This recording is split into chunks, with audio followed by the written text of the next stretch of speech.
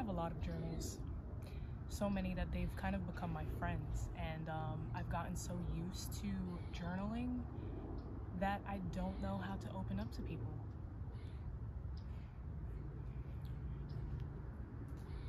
My simplest reason to have started journaling um, was to bring order into my very chaotic life.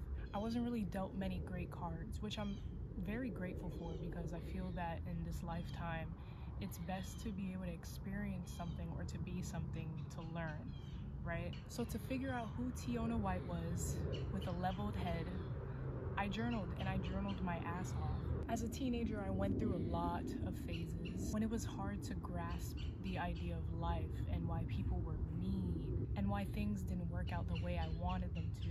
But journaling brought me back to a center point and it absorbed all of my anxiety, my depression, my stress. Waiting for the plane.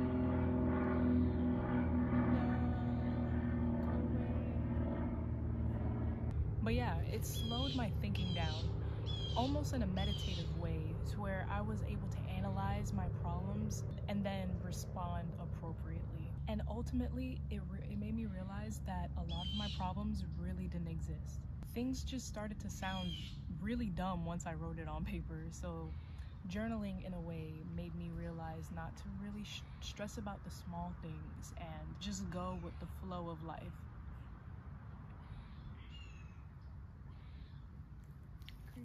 So I created a very comfortable relationship with a pen and paper. And because it was the one thing I could do without any judgment, it was the only thing I did.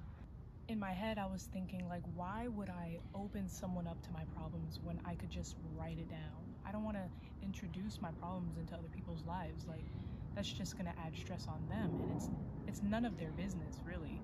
It's nothing is their um, responsibility. It's all mine.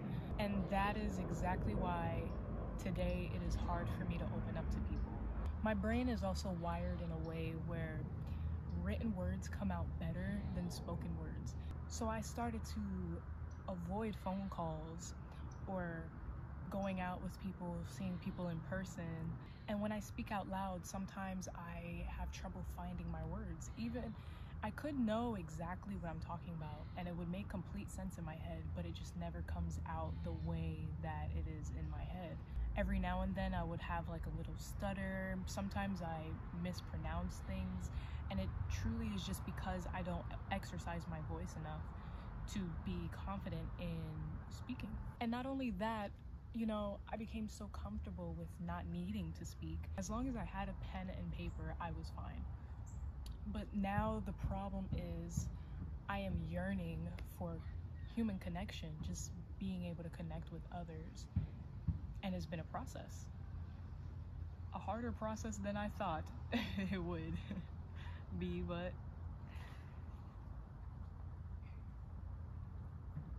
I want to so badly feel how it feels to truly connect with someone, with everyone really, just to be able to give and receive better. I feel that because I've been in a journal so long that I'm actually, it's actually pretty easy for me to absorb. You know, I'm so much more of a better listener than I am a person that speaks out. So I am able to absorb everything, but, um, and receive everything, but I'm just now figuring out how to give it back. The solution, I would say, is this video, is me being vulnerable in front of a camera and actually speaking. I want to give a better example of who I am, to learn to express myself in ways that were harder, you know, like a little bit more challenging. Not only does it help with my, you know, verbal communication, but I also feel that it's going to help with the communication with myself and my body. This YouTube video, it was really me testing my waters a little bit more and just being more vocal and to open my throat chakra up a little bit and just speak out. Even if I don't know what to say, I just want to say something so that it gets me into a space um, where I can like continue to learn and to continue to um, get more familiar with my own voice. Um, so, yeah. a lot of things are trial and error, and most of the time you just gotta do something. Even if you don't know what you're doing, you just gotta do it and trust the process. And that's exactly what I'm gonna be doing. So, this is the first video that I will be speaking or showing. This is the first video. Um, I'm gonna make this kind of a series where instead of writing in my journal, I'm going to vocalize my journal.